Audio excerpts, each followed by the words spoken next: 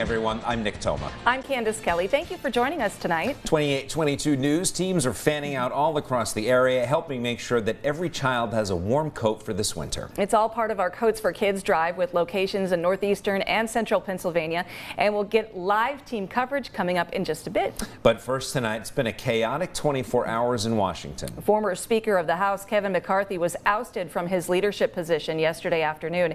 2822 News reporter Amelia Sack joins us now with more more about that historic vote. Amelia? Nick and Candace, good evening. This is the first time in U.S. history that a permanent speaker has been removed. It was certainly a historic day, but for all the wrong reasons.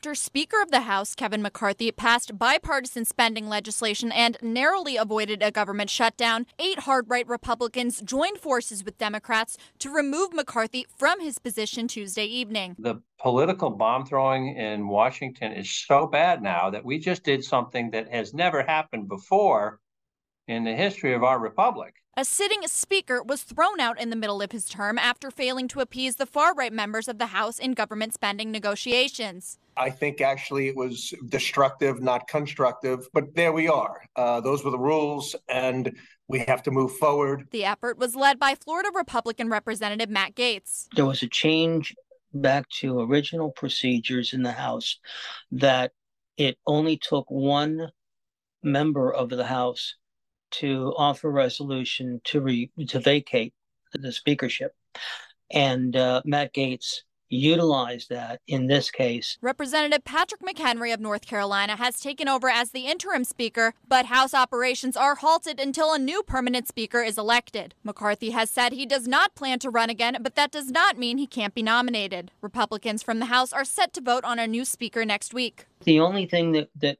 uh, we should be concerned about is if they're not able to get uh, a member elected on the first ballot, whoever that may be, uh, this could drag on, and that's the fear. If it if it drags on for uh, days and weeks, it could be very damaging to the Republicans.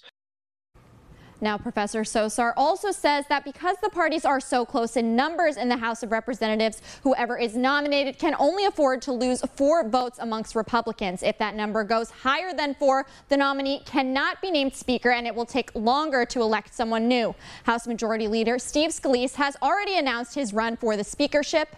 In the studio, Amelia Sack, 2822 News. Thank you, Amelia. And in our Instapoll question today, we want to know if you think political infighting is bad for our country. Your choices are yes, nothing's getting done, or no, it helps keep balance. Most of you say yes. You still have time to let us know how you feel.